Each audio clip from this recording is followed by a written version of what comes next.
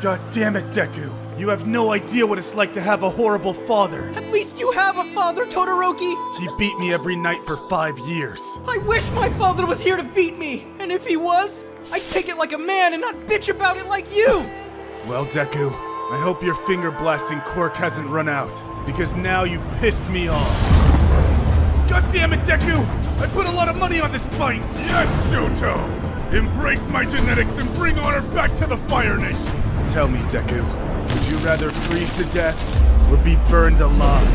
I'd rather die in the proud eyes of my father! Huh?